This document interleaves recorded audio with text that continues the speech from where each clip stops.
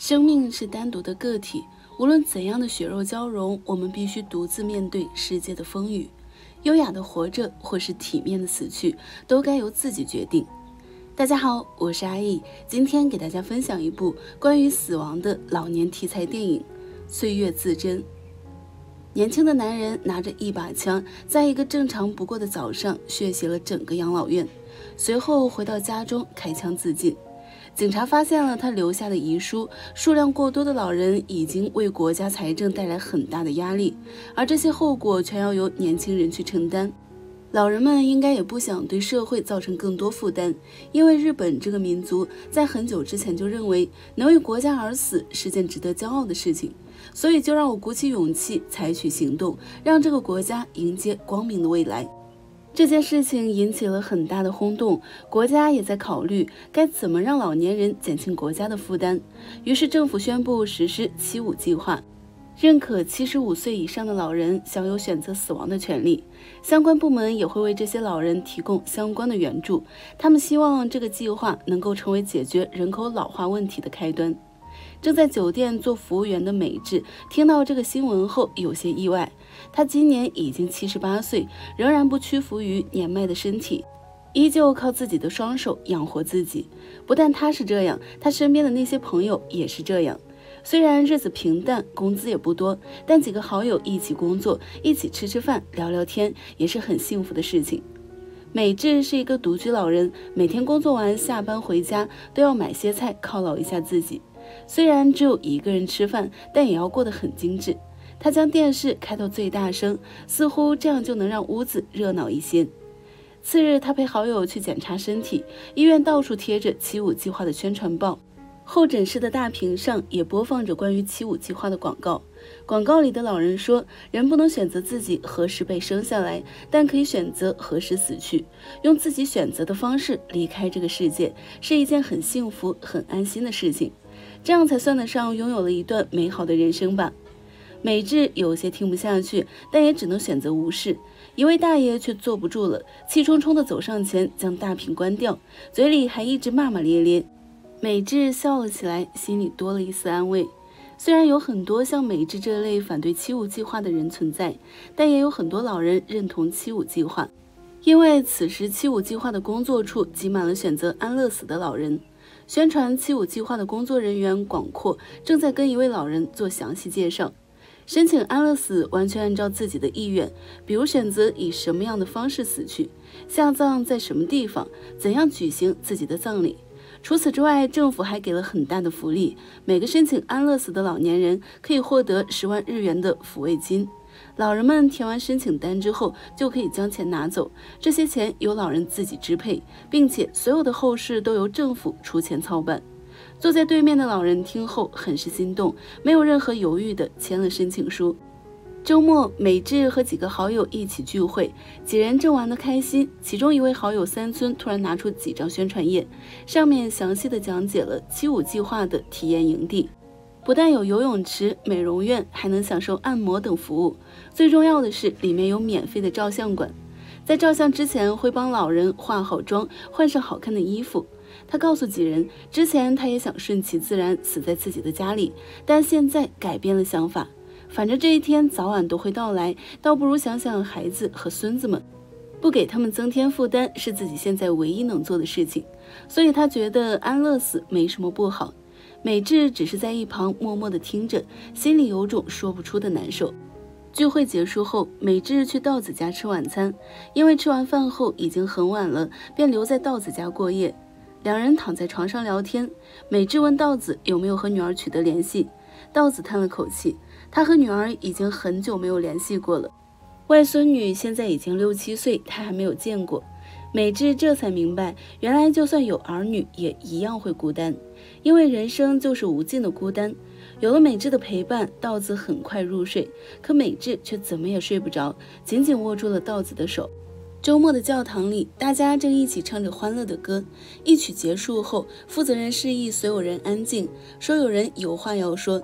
最后一个叫玛里亚的女人走到前面，她来自菲律宾，现在在日本做护工。她的女儿今年五岁，患有严重的先天性心脏病，现在马上要做手术，但家里却没有足够的积蓄。她请求在场的所有人能伸出援手，帮她女儿度过这个难关。大家都很善良，听到这个消息，一边安慰玛里亚，一边举行募捐。教会结束后，负责人说给玛里亚介绍一个工作，这个工作的薪水比做护工要高很多，那就是去七五计划的工作处宣传七五计划的知识，鼓励老人们选择安乐死。玛里亚很开心，只要能救女儿的命，她觉得做什么工作都无所谓。此时的七五计划工作处，广阔接待了一个特殊的老人，老人已经有些痴呆，正是他二十年没有见面的亲叔叔。他跟老人介绍自己之后，老人才依稀将他认出。如果是其他老人，他还好处理，但现在面前的人是自己的叔叔，难免有些不太忍心。于是上司让他将这个工作交给其他的同事去处理。美智一直觉得，只要自己好好工作，能够赚钱养活自己，就不会成为国家的负担，也不会走到去签七五计划这一步。可他没想到，工作的酒店招了几个年轻人，老板立刻将他们几位年长者辞退。毕竟他们已经是半截入土的人，哪天突发意外去世，谁也没有办法料到。酒店不想承担这个责任，只能将他们几个开除。收拾东西时，几人聊起今后的去处，朋友们都要回儿女那里。美智的心中不免有些落寞，因为她没有儿女，无亲无故，只能去寻找下一个工作养活自己。他找了很多工作，却处处碰壁，屋楼偏逢连夜雨。他租住的公寓马上就要被拆除，所以当务之急，他需要去寻找下一个住所。找到第五家的时候，对方却建议他去申请国家福利。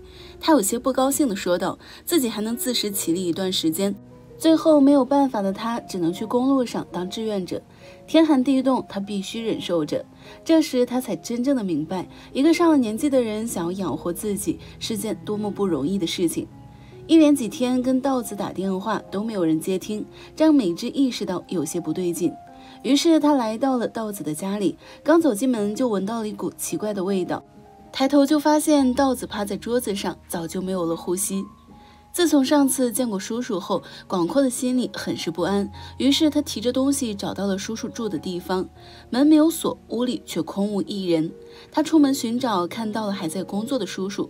叔叔工作结束后，两人一起回到屋子里，看到了一些奇怪的本子，广阔便拿起来翻看。叔叔告诉广阔，那是他捐血的本子。之前他在很多地方做过建筑工。每到一个地方，他都会去捐血，每捐一次血就会发一个本子，这些都是一点点攒下来的。但现在这些东西已经没有用了。叔叔拿过那些本子，不带一丝留恋的丢进垃圾桶。叔侄两人一起吃了晚饭，聊了一些家常。晚饭后，广阔在洗碗，叔叔听着电视里播报着七五计划的新闻，目光呆滞，没有一丝生气。离别的时候，看着站在门前的叔叔，广阔想说出的话没有说出口，转身消失在夜色中。道子的离世让美智受到很大的打击，她第一次感受到人的生命如此脆弱。加上这几天找工作和房子处处碰壁，她对自己的生活一定失去了信心。没有收入来源，即将失去的安身之所，让她不得不认命。他去相关部门领取之前一直未领取的老年补助，到地方却发现已经关了门。他这才意识到，这段时间经历的所有的一切都在将他一步步往死亡的路上推。或许他应该像其他老人一样，领取一笔抚慰金，过一个潇洒的生活，然后离开这个世界。纠结了一个晚上，他终于拨打了七五计划的热线。他紧张地听着对面人的回复，热线员却用温和的语气告诉他，之后会定期打电话给他。他们的热线电话二十四小时都有回应，如果感到有些不安，随时可以联络他们。道子离开后，这是他第一次从别人身上感觉到温暖。于是后来的几天，他只要想找人聊天，就会拨打热线电话，而对面的女孩总是会温柔地回应每句话，但每次都只有十五分钟的时间。这十五分钟的时间过得飞快，美智总觉得还有好多话没讲完，于是他直接将女孩约了出来。尽管公司有规定不能和客户见面，因为怕和客户产生感情，没有办法完成下面的工作，女孩还是赴了约。美智将领取到的十万奖抚慰金塞到女孩手上，因为她马上就用不到了，不如将它留给更需要的人。女孩推辞着不肯接受，但看他真诚的眼神，没办法拒绝他，最后只能将钱装进书包里。女孩夸美智的声音很好听，让美智想起了往事。她的丈夫曾经也夸奖她，觉得她的声音是世界上最好听的声音。吃过饭后，两人一起去了俱乐部，因为女孩想要带她去体验一下年轻人的生活。美智学着其他人的样子，将保龄球扔了出去，心情也放松了不少。这一天，美智过得很开心，但很快她就要面对最不想面对的事。女孩最后一次打电话告诉她，她的时间已经到了期限，如果现在反悔还来得及。但美智并没有停止计划的实施。女孩挂电话时叮嘱她，明天早上离家的时候不要将门锁上，因为之后会有同事上门为她清理遗物，然后帮他将房子打扫干净后交给房东。美智对女孩表达了感谢，感谢女孩愿意花时间听她在电话里唠叨。她流着眼泪挂断了电话，心情是说不出的低落。晚上，女孩放心不下美智，用自己的手机给美智打去电话。电话另一边却响起了嘟嘟的忙音。此时的美智正在收拾东西，她不愿再麻烦别人为她整理衣物，所以提前将房间收拾得干干净净，这也是她能做的最后一件事。次日醒来，她看着自己截骨分明的双手，再仔细看看镜子中自己的脸，然后整理好仪容。他对这个世界还是有太多的不舍，只想多看一看这个世界，不让自己留有遗憾。路过公园，一个小女孩在跳绳，他便驻足看了一会儿。女孩开心地朝他挥挥手，他也立马给予回应。在坐大巴去往七五计划工作处的时候，他的心里突然感到不安。阳光透过树缝照在他的脸上，他伸手感受最后一丝温柔。这天也是广阔叔叔执行安乐死的日子。广阔早早来到叔叔的住处，来接叔叔去往公司。在那之前，他带叔叔去吃了早饭。广阔一直在观察墙上的钟表，他问服务员要了一瓶酒，希望叔叔能享受在这世上的最后一点时光。叔叔在路上吐了起来，他终归有些不忍心，问叔叔要不要改变想法，他现在就能将其送回家。叔叔却摇了摇头，转身上了车。到了公司门口，广阔却迟迟不敢下车。叔叔下了车，独自朝前走去。广阔不想看到亲人离世，选择了逃走。走了一半，又掉头回去。他加快车速，试图挽回叔叔的生命。而此时的叔叔已经和美智一起吃了药，躺在床上等待死亡的到来。两个老人隔着床帘对视，美智亲眼看着对方闭上眼睛。这一刻，他开始慌了，而此刻的他只是觉得有些头晕，其他并没有任何不适。广阔赶到时，见到已经从床上坐起的美智和已经没有了呼吸的叔叔，觉得时间差不多了。玛里亚准备去病房收拾两个老人的遗物。美智已经不见踪影。为了减轻自己的负罪感，又为了让叔叔能留个全尸，广阔决定亲自安葬叔叔，便让玛里亚帮他将叔叔的遗体抬上了车。本来公司是不允许这样做的，但善良的玛里亚不忍心看广阔自责，便出手帮了忙。美智侥幸活了下来，死里逃生后，他更觉得生命珍贵。回头看看身后的那个地方，他在心里默默告诉自己，一定不要再回去了。看着即将落下的太阳，他不禁有些窃喜。还好自己还活着，即便他已年入古稀，即便这个世界上已经没有他的容身之所，即便他已经没有能力养活自己，他也还是要在有生之年好好的活下去，好好度过剩下的每一天。出生和死亡是人生同等重要的事情，虽然无法选择出生，但希望可以选择死亡。每一个人都应该对生命存有敬畏之心。对幼小的生命，我们总是充满爱怜，可以为孩子付出一切；但是对于老人在社会性抚养还不完善的地方，他们应该如何选择自己的生活，以及如何优雅地选择死去？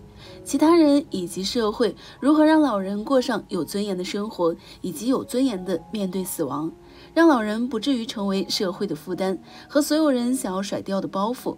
每一个人都要老去，最终死去，所以这是不管是老人还是年轻人都应该思考的人生问题。好了，今天的分享就到这里，喜欢的小伙伴一定要继续关注阿易，接下来还有更多精彩的故事等着你们。